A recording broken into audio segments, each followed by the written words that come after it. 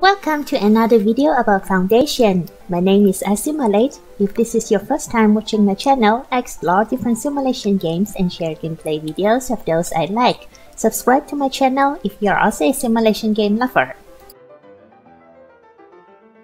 The Estates page provides us with a good roadmap.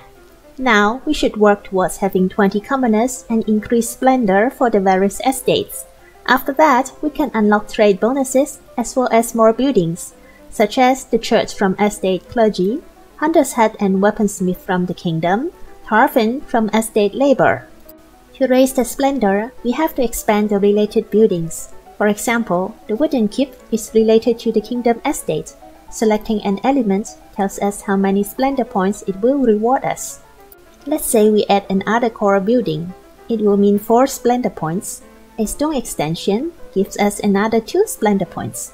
But later on in the game, I figure out a stone extension couldn't be used as my soldier's dormitory. I end up building another wooden extension for the 5 additional soldiers. While everyone smiles and looks happy in our village, it's good to keep an eye on their happiness level. Alicia is quite upset. Let's see if we have everything she needs in our village. She walks out of her house. Her comfort bar is at 100%. She goes to church to fill her service bar.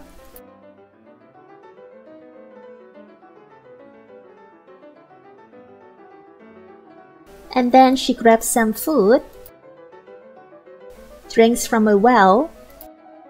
From minus 42%, her happiness level improves to positive 15%.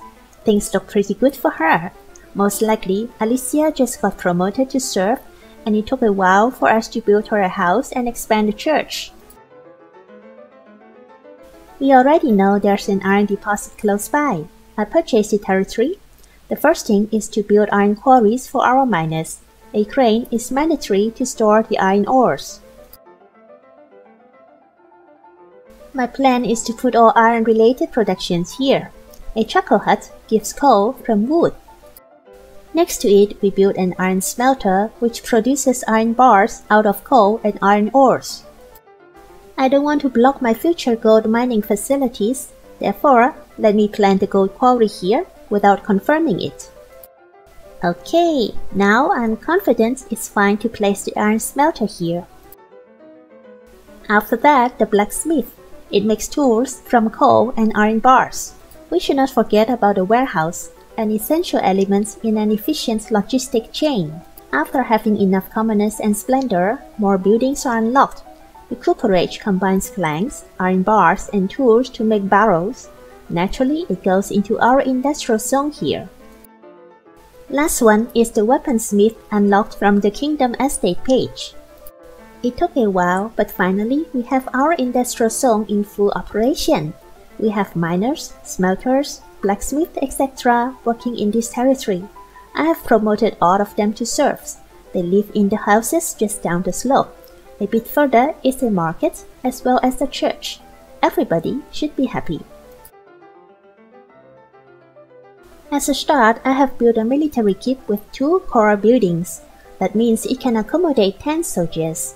I also find it a good idea to build extensions for soldier dormitory within the keep.